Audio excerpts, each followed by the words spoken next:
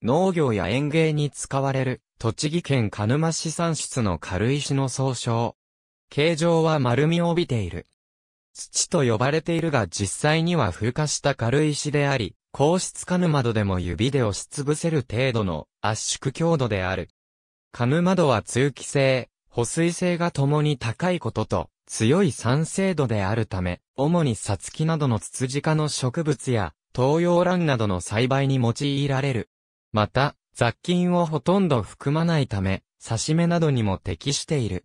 カヌマドは水分を含むと黄色くなり、乾燥すると白くなるので土壌の乾燥が判断しやすく、園芸に優れている。弱点としては、保肥性が低いことが挙げられる。成分としては、長石、角栓石、観覧石など。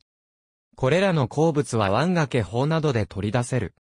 カヌマドの特性を活かし、2010年代以降、化粧品の成分保持剤や、バイオ水素製造時の吸着剤といった新たな用途の開拓が進んでいる。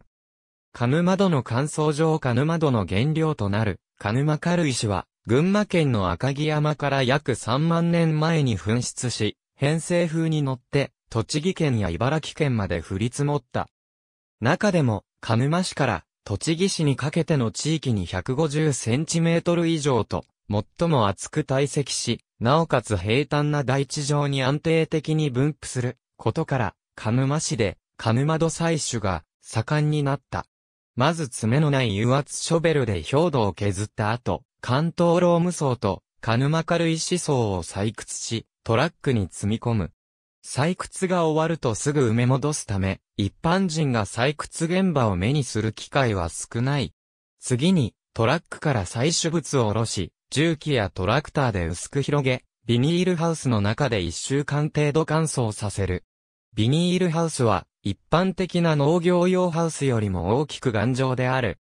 乾燥が終わると工場へ搬送し、ふるいにかけて、流形を揃え、ローム層は赤玉土として、カヌマ軽石は、カヌマ土として、袋詰めにし、ホームセンターや農業協同組合へ出荷する。ホームセンター等の店頭に並ぶのはごく一部で、大半は農協、農家向けに出荷される。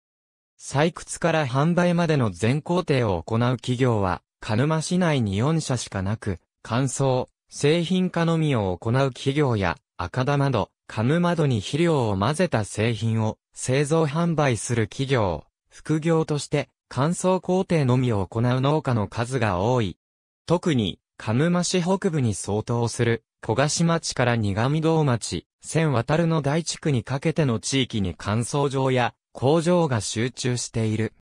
ジョイナラは、かつての乾燥場、工場はより、鹿沼市街に近い地域に分布していたが、都市化や住宅団地、工業団地の開発の影響で郊外化していったものと推測している。ありがとうございます。